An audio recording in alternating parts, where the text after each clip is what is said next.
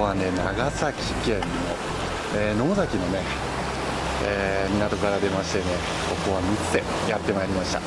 ねえー、時期は12月という形でね、えー、海遊魚なんですけど、まあ、降水温期はね平間さん、えー、高確率で狙える場所、ねねえこれから冬にかけては、まあ、ブリという形でね今日は狙っていきたいと思います。ねシャワガンエボルジガロマッシブねで今回はねちょっとジガロファミリー、えー、ジガロマッシブそれからちょっとプロとのねジグも持ってきてます、えー、いろいろね探りながら釣っていきたいと思います。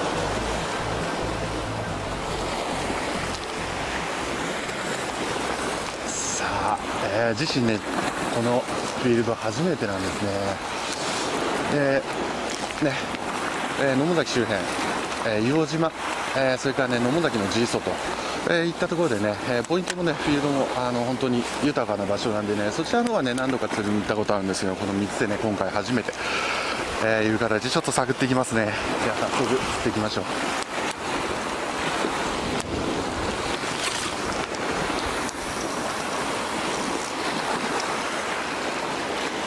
えー、まあ、冬場なんでね、えー、節風吹くとね、なかなかこう、故障のできる確率が少なくなってくるシーズンなんですけどもね、えー、今日はね、えー、運よく乗れてます。で昨日野崎の方のねポイント見て回ったんですけどもね。餌がいるところはねポツポツとこう入ってるんですねイワシがね。ただねイワシのサイズがね小さいんですね。割とねそういう意味ではルアーのシルエットを見てくるかなという気はちょっとねしています。水深はね 20m 前後ですね。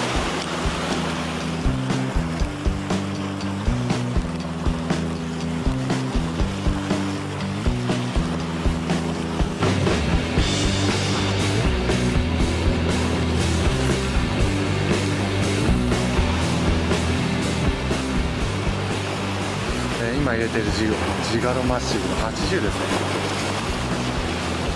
えー、ロットはね障害エボルブ106の XXH、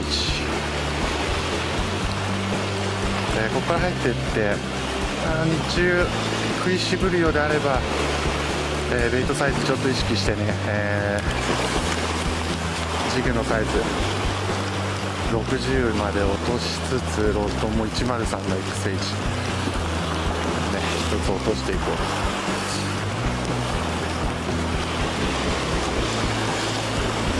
ちょっと100入れていきますね。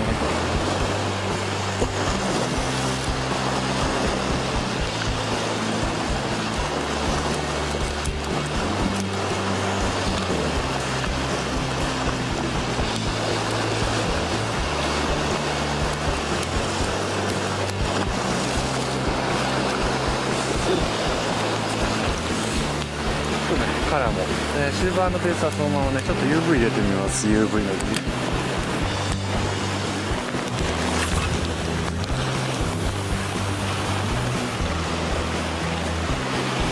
なんかね魚探の反応もしっかりねこう起伏のある上にしっかりベイトついてるから、うん、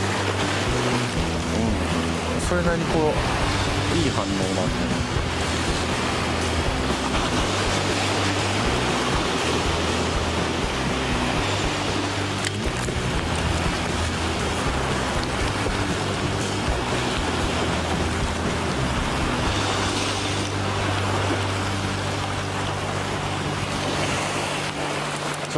ー変えていくね。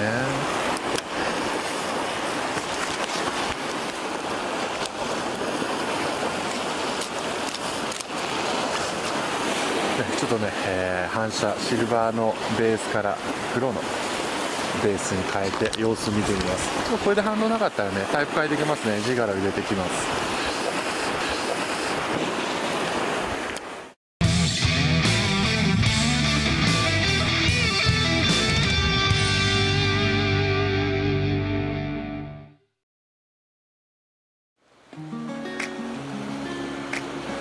今回ね、え持ってきたジグはこちらですね、えー、全て顔はジガロフェイスジガロ顔なんですけれども3種類目。えこれプロトなんですけども、えジガロファミリーにね新しく加わるもう一つの型という形で、え今、え開発を進めているモデルこれクイックレスポンス QR ジガロ QR という形でね、え予定しているモデルですね。で、まあ、これ上がねジガロ。真ん中マッシブ。で一番下が QR なんですけども、えー、QR これね素材を G ライトメタルですね、スラブラッドキャストのオーバルであったりとかロング、え、あそこにね採用している金属と同じマテリアルを使ったジガロシェイプのジグなんですね。で狙いはジガロの中でも一番高いロッドワークに対するレスポンス、ね。え、要はパッとアングラーが入力した際に一番大きなアクションを引き出すというのが狙いですね、まあ、金属の比重自体が小さい、えー、素材になりますんで下に落ちよう落ちようとする力すごい弱くなる。でその分入力した力を滑走する方向に持っていけるんですね。なんでワイドなアクション引き出しつつね、場合によってはそこから下に落ちるスピードも遅くなるんで同じレンジを割とねとどめとくイメージができるんですね。狙いはねその2つです。ね、今回はねこのプロトのねこれのねちょっとテストも兼ねてやってきましたね。ねこの3つを使い分けることでさらにねショアジギング、えー、楽しむ幅が広がると思います。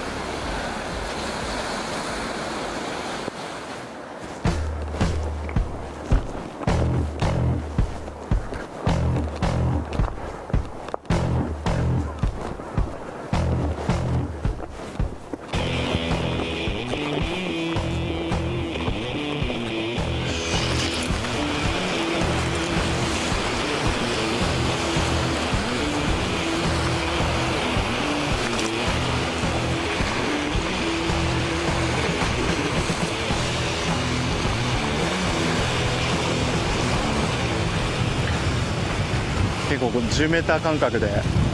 同じようなスリットが入ってんだね。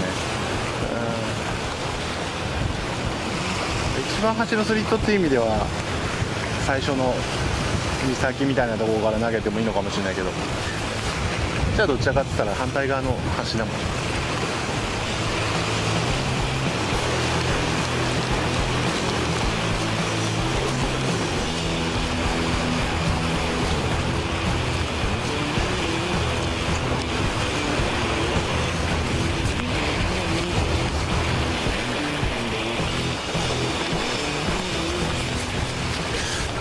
と今臭かったね。もしかしたらまだいそうだね。しゃくってるねジグにね。違和感が出るんですね魚が。こう折ったりもしくはねこうじゃれてくると。でそれがね軽く出たりね逆にあの持たれるように重くなったりするんですけど。割とねその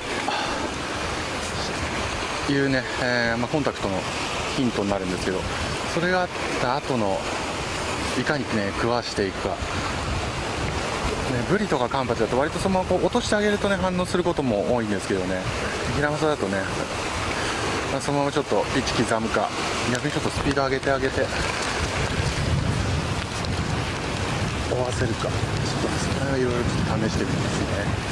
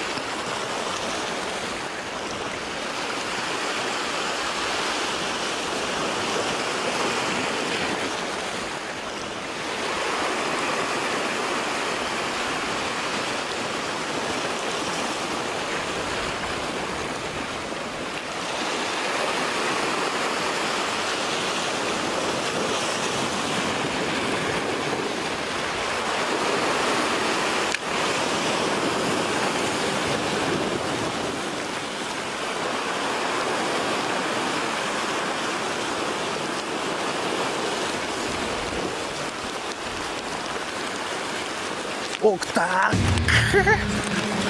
し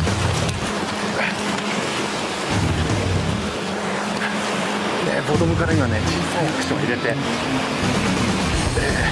ー、ね、そこからね大きなアクションに変わったところで食ってきましたね。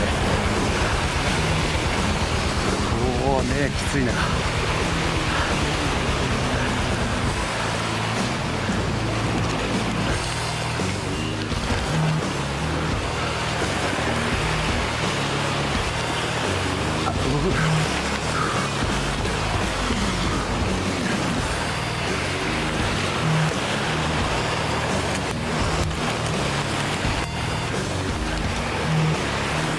結構ね根がね厳しいですね。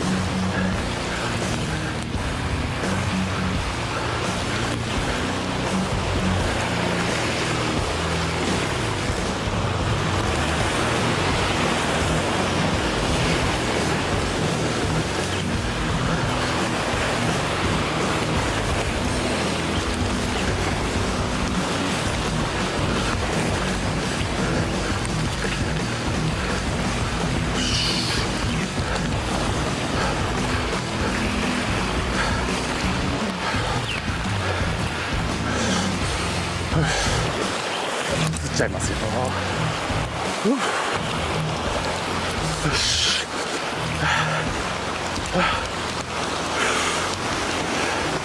よし。よ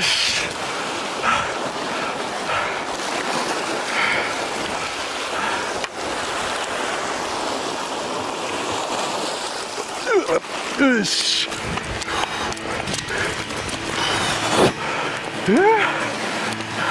嬉しい一発出た。やりましたね。ジガロマッシブ100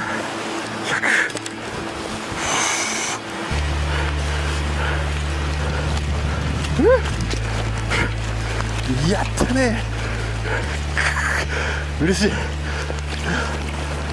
し。ああ嬉しい一発よっね。あ平野さんねえ今ね12月。うお3つ渡ってきました。ね交流丸さんで渡った、えー今、えー磯場朝一番のところからね島のちょっと対角反対側来たんですね。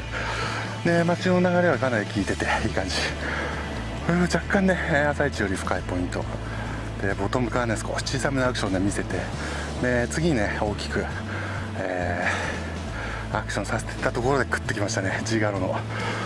これね UV グリーン100やったね。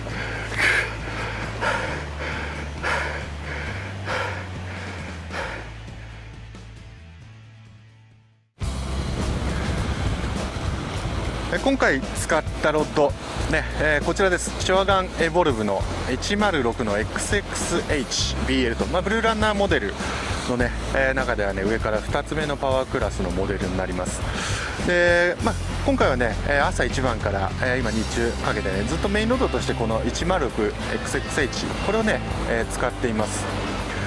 でまあ、このロッドね、えもうこのパワークラスになるともう外洋の、えフィールド、え出てね、えー狙いはねもうトロフィークラス10キロアップをね想定したロッドになります。でまああえてね103じゃなくて106というのはねこれまあストローク31分長いんですね103に比べるとね。そのまあストロークが長いのと、まあえーワンランク、パワークラスを落とすということでティップのね、ある程度スムーズさをこう生かしていく。っていうね、えー使い方ができるロッドなんですね、まあ、そうなってくると例えばジグなんかでいうと初速を落としてでそこからじっくり水に絡めながらジグのアクションを引き出すと、えーいった形。でもしくはね、えー例えばダイビングペンシルのようにねプラグを使っていくような釣りでも割とこう水上のいいね、えー性能を発揮しやすいロッドになりますんで、えそういった形でね、え状況とフィールドそれから使うねルアーアクションのイメージによってね、えー使い分ける